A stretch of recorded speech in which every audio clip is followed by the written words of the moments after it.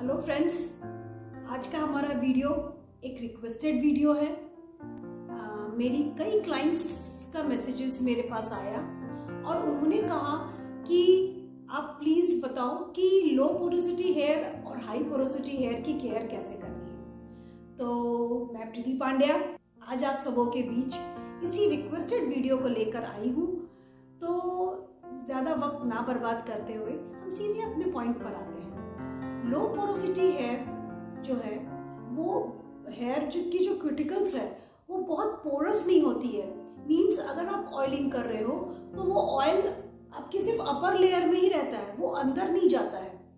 और जब आप वॉश कर रहे हो तो तो पूरा ऑयल निकल भी नहीं पा रहा है, आपका बाल ड्राई भी हो जा रहा है। मीन्स वो ऑयली हेयर का टेक्सचर आप लो पोरोसिटी हेयर में कह सकते हो, लेकिन वो ड्राई इसलिए हो जा रहा है क्योंकि ऑयल एब्जॉर्ब नहीं हो रहा है।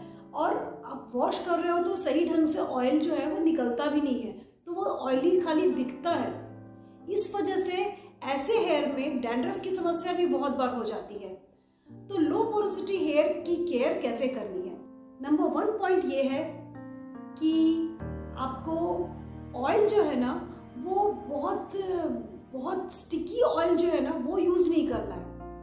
आपको लाइट ऑयल यूज़ करना है, जिससे आपके बालों के अंदर वो ऑयल जो है, वो जा सके पेनिट्रेट कर सके और आपके बालों की केयर कर सके। तो इसके लिए grape seed oil jojoba oil argan oil and you can also use coconut oil almond oil glycerin बहुत अच्छा है। इन सबको आप अच्छे से बालों में लगाइए। कोई भी, जो भी आपके पास अवेलेबल है, आप इन तेलों में से कोई भी तेल यूज़ कीजिए, वो आप अच्छे से लगाइए और बालों में स्टीम ज़रूर दीजिए। तब वो क्या होगा कि गर्म से आपके बालों के अंदर वो पेनिट्रेट होगा और आपके स्कैल्प की केयर कर पाएगा। तो अगर आप ये सोचते हो कि आपके हेयर ऑयली हैं और आपको ऑयल की ज़रूरत नहीं है तो ये आपका मिथ है। ऑयलिंग अच्छे से कीजिए स्टीम ज़रूर दीजिए। और नेक्स्ट पॉइंट ये है कि कभी भी आप कोई भी वो टूल्स जो होते हैं ना, जो भी, वो यूज़ मत कीजिए स्टाइलिंग टूल्स उससे आपके बाल पूरी तरह से डैमेज हो जाते हैं। तो ये हीटिंग अप्लायंसेस यूज़ मत कीजिए। कोशिश कीजिए, बहुत कम से कम यूज़ करना है, ठीक है?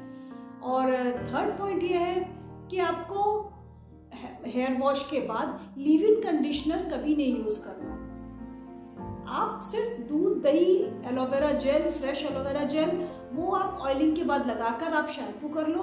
आपको बाद में ना कंडीशनर की आवश्यकता पड़ेगी और लीव इन कंडीशनर तो आपके बालों में बिल्कुल भी नहीं चाहिए, क्योंकि आपके बाल जो है वो ऑयली हो जाएँगे थोड़ी देर के बाद। इसलिए लिव इन कंडीशनर को इग्नोर करना है, ठीक है? और फोर्थ पॉइंट है कि आप सब चाहते हो कि मुझे ये बताओ कि लो पोस्टी हेयर में पैक कौन सा लगाऊँ? तो पैक के लिए हिना बहुत ही अच्छा है मेथी बहुत अच्छा है शिकाकाई हिबिस्कस ये जो पैक्स हैं ये आपके बालों के लिए बहुत अच्छे हैं। आपको प्रोटीन मास्क यूज़ नहीं करना है उससे आपके बाल जो है ना वो और डैमेज हो जाएँगे। आपको एग मास्क राइस मास्क आपको बनाना मास्क ये सब कभी भी अप्लाई नहीं करना है। तो आ, ये बहुत अच्छा है कि आप हिना, हिबिस्कस, आंवला, मेथी, इन सब का इस्तेमाल कीजिए, तुलसी, नीम, ये सब आपके बालों की केयर करेगा। तो इन सब पैक्स को आप यूज़ कीजिए और अपने लो पोरोसिटी हेयर की केयर अच्छे से कीजिए और सारे प्रॉब्लम से दूर हो जाएँगे अब मैं आपको बताती हूँ कि हाई पोरोसिटी वाले हेयर वो कैसे होते हैं। हाई पोरोसिटी हेयर वाले जो होते हैं ना, उनके बाल मोस्टली बहुत ड्राई एंड डैमेज दिखेंगे। आपको मोस्टली वो दिखेंगे कर्ली हेयर वाले। तो उसमें क्या होता है कि आप जो भी ऑयल लगाओगे, वो बहुत इजीली एब्जॉर्ब हो जाता है। लेकिन क्योंकि बहुत पोरस हेयर है उनके क्यूटिकल्स बहुत पोरस होते हैं ओपन होते हैं तो उससे क्या होता है कि जब वो वॉश करते हैं हेयर वॉश करते हैं तो उतनी ही जल्दी वो ऑयल निकल भी जाता है और उनके बाल जो है वो डल एंड ड्राई दिखते रहते हैं। तो इस तरह के हेयर की केयर कैसे करनी है? इसमें सबसे पहला पॉइंट ये आता है कि आप कोई भी हैवी ग्रीजी ऑयल यूज़ कर सकते हो और अच्छे से अपने हेयर की मसाज कर सकते हो। उसके लिए सरसों का तेल मस्टर्ड ऑयल बहुत अच्छा है कैस्टर ऑयल बहुत अच्छा है ऑलिव ऑयल कोकोनट ऑयल इन सब का आप मैक्सिमम यूज़ करो। आप बालों में घी लगाओ। घर के जो घी बनते हैं ना, देशी घी, घर में जो बनाते हैं वो घी यूज़ करो, वो आपके बालों के लिए बहुत ही अच्छा रहेगा। तो इन सबको यूज़ कीजिए आप, और आप देखेंगे कि आपके बाल जो है ना, बहुत अच्छा मतलब आप ये मत सोचिए कि जब आपको हेयर वॉश करना है, तभी आप मैक्सिमम यूज़ कीजिए। मतलब बहुत मतलब ऑयली ऑयलिंग आपको मैक्सिमम करते रहना है। उसके बाद नेक्स्ट ये है कि हीटिंग टूल्स जो होते हैं अप्लायंसेज होते हैं जिनसे हम बालों की स्ट्रेटनिंग करते हैं आयरनिंग करते हैं। तरह तरह के अप्लायंसेज जो हम यूज़ करते हैं कर्लर है पॉमिंग है, ये सब कभी भी हाई पोरोसिटी वाले हेयर वाले कभी भी ये अप्लायंसेज यूज़ मत कीजिए। एक बार हो सकता है कि अगर आप वो ट्रीटमेंट कराए और आप देखोगे कि आपके बाल बहुत फ्लोई हो गए और आप बहुत खुश हो जाओगे। For the time being for four to five month six months आपको वो अच्छा लगेगा। लेकिन फिर आपके बाल बहुत बुरी तरह से डैमेज हो जाएँगे और आप सोचोगे कि वापस वही ट्रीटमेंट या तो कर लो या फिर पूरे हेयर को कट करवा लो। इसलिए बहुत ज़रूरी है हेयर की सही ढंग से केयर करना। तो आप हीटिंग टूल्स यूज़ नहीं कीजिएगा। कभी भी आपको गर्म पानी यूज़ नहीं करना अपने बालों में।